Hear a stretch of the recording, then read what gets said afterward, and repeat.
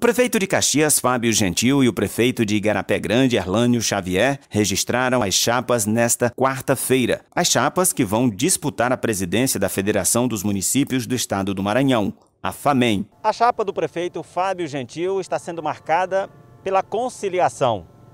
O gestor conseguiu mobilizar políticos do PCdoB e também do PDT.